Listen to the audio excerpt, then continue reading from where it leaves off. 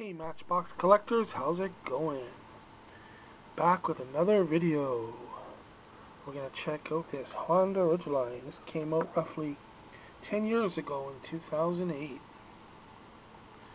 I like this casting. Let's open her up.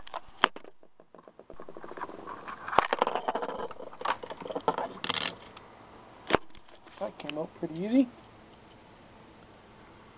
Alright. Nice black paint job. Tampos are awesome. Very nice. Rims, tires are cool.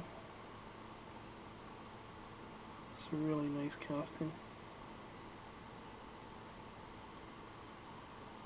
Looking pretty cool. Very nice.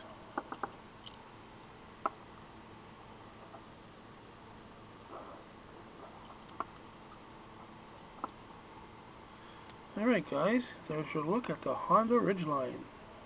This came out roughly 10 years ago, as I said earlier, in 2008.